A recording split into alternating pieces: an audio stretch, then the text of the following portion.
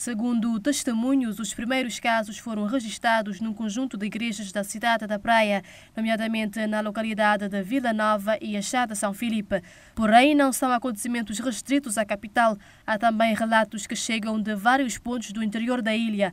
No caso da Igreja Universal, o primeiro assalto foi registrado em São Lourenço dos Órgãos, onde o material levado está orçado em 15 mil escudos. À primeira vista dá a entender que era arrombamento, porque a porta estava aberta, a janela também estava aberta, mas isso é só um, um farsa. E bandidos é que tem entrar na porta de igrejas, tem entrar a chave, quer saber que chave, mas tem entrar com chave, eles vasculhar toda a igreja e não foi roubado com mesa de som e outros aparelhos. A Igreja Católica daqui, da localidade de São Lourenço dos Órgãos, no interior da Ilha de Santiago, foi também uma das assaltadas nos últimos dias. A comunidade cristã mostra-se preocupada e exige mais segurança e respeito.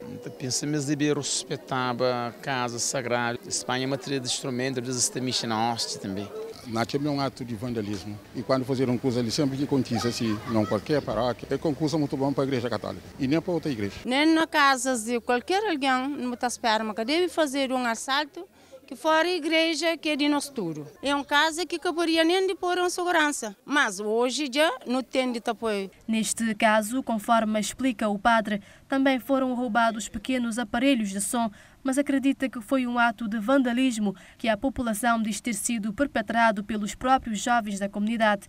Em São Salvador do Mundo, para além da Igreja Universal, foi também assaltada a Igreja Nazarena, onde é unânime o sentimento dos fiéis perante o fato. É hora que uma instituição de cariz religiosa e for assaltado, no sentimento de tristeza, não é? Hoje a igreja tudo vandalizado, com as portas de, de santuário tudo arrebentado. É muito triste que não há pessoas que tá, mesmo que tá respeitam a igreja. Neste sentido, os fiéis dizem que a melhor forma de evitar estes casos é reforçar a segurança das igrejas e apostar numa maior consciencialização da sociedade. Se uma pessoa tem segurança naquelas outras instituições, então já também uma igreja também devia ter também uma segurança. Assim. Então espera que nós, que grande, para nos dar exemplo para jovens também.